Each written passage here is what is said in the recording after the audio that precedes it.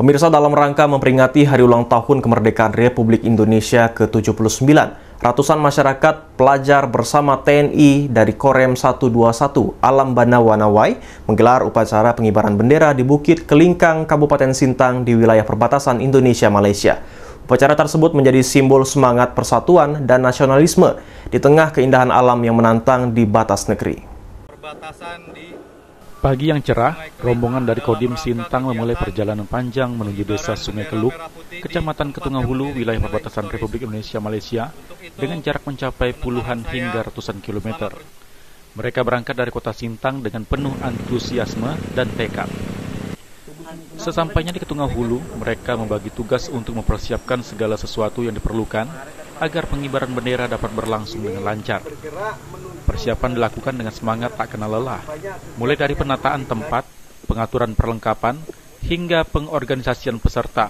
Semua dilakukan dengan penuh dedikasi. Sinar matahari yang terang mulai menyinari bukit kelingkang, menciptakan suasana damai dan menenangkan. Udara segar yang beraroma alam pegunungan menambah keindahan suasana pagi. Kami bersama komponen masyarakat berdiri dengan penuh semangat, siap untuk menempuh perjalanan yang melelahkan menuju puncak bukit. Meskipun jalur yang harus dilalui sangat menantang, menanjak, licin dan terjal, semangat kami tidak surut. Canda dan tawa selama perjalanan menjadi penguat di tengah keringat yang bercucuran dan napas yang terasa berat. Pemandangan indah di sekitar kami memberikan energi baru dan motivasi tambahan untuk terus maju. Akhirnya dengan rasa bangga dan haru, kami tiba di puncak Bukit Kelingkang, Upacara pengibaran bendera merah putih berlangsung dengan hikmat. Dipimpin langsung oleh Komandan Korem 121 Alam Badang Wanawai, Brigjen TNI Lukman Arif. Momen ini bukan hanya simbol dari seluruh usaha dan persiapan yang telah dilakukan, tetapi juga penegasan semangat Nusantara baru, Indonesia maju dalam perayaan HUT kemerdekaan ke-79 Republik Indonesia.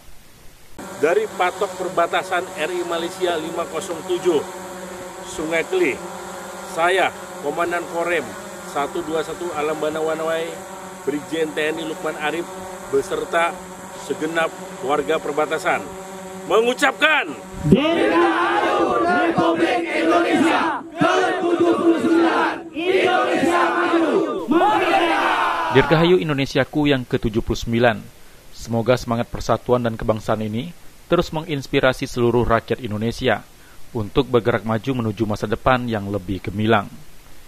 Dari Kabupaten Sintang, Kalimantan Barat, Trianto, Ainyus melaporkan.